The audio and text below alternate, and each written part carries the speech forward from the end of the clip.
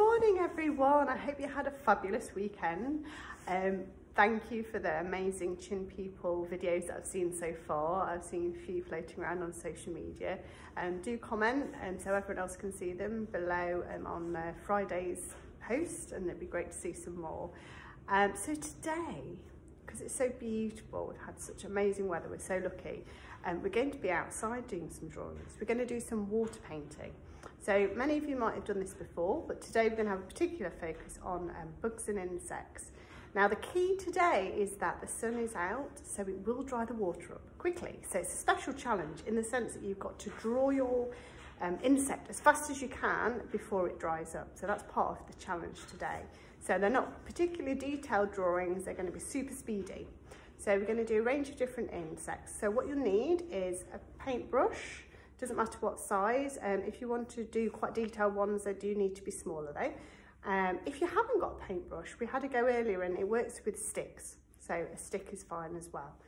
Um, you need a little pot of water, um, that's all you need. Um, so you do need to find a, a, bit of pavement or a patio, a bit of path that you can paint onto. And um, just make sure your brushes are super clean. So if they're not got any paint on already, otherwise uh, you will leave some marks, but uh, otherwise that's all you need. Let's get going.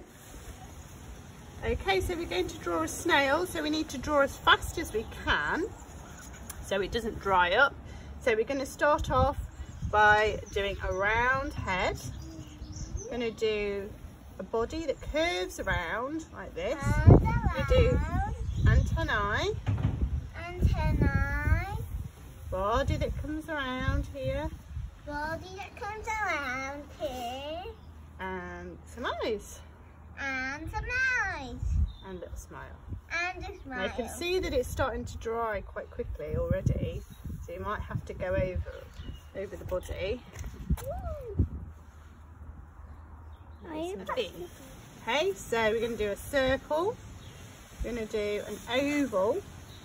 We're going to do the lines for the body we're going to do some antennae. So I'm drawing very quickly um, because we don't want it to dry up with the sunshine. Some eyes here. This one looks like an evil bee. And try and put the wings on. Well done, Bella. Okay. some little legs. Oh, my antennae. Quick, we've just made it before it's dried up.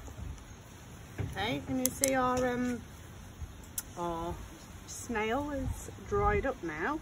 So next one we're going to do is, should we do a wiggly worm, Bella?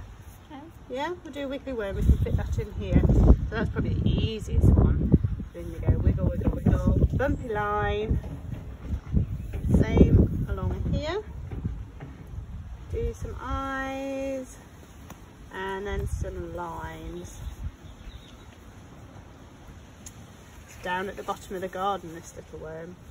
We're going to draw some zigzags, the grass, that's the koala.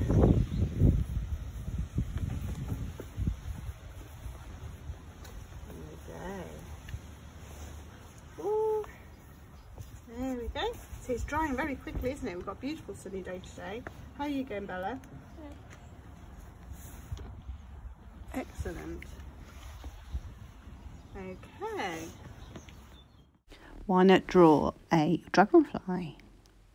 Great job everyone. See you tomorrow.